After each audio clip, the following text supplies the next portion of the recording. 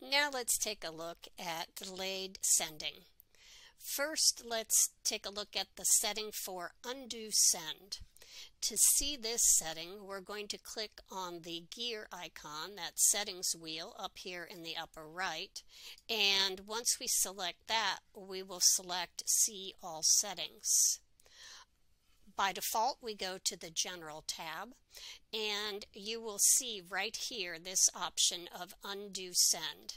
And I have my Undo Send sent, uh, set for 30 seconds, since it um, sometimes takes me several seconds to realize, oh, I forgot something or I saw a typo. Um, but when you click the drop down, you see that you can delay send anywhere between 5, 10, 20, or 30 seconds, and I use the highest amount. Next, after you set that, you'll scroll down to the bottom and you'll save those changes. So when we go back to the inbox, we'll compose and then I'll send out a message and when I hit send I have the undo right here with message sent so I'm going to undo and add to my message. Now let's take a look at the other option once I compose a message,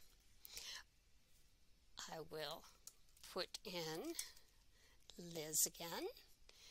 And right here, I have a down arrow beside send, and I can choose to schedule send.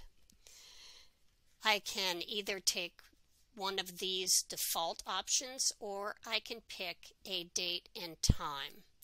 So if I don't want to bother someone after hours, I can set this for 8.30 in the morning so that when they get into the office, they will find that message and they won't receive it um, during their off time. And you see right here, I have one scheduled send.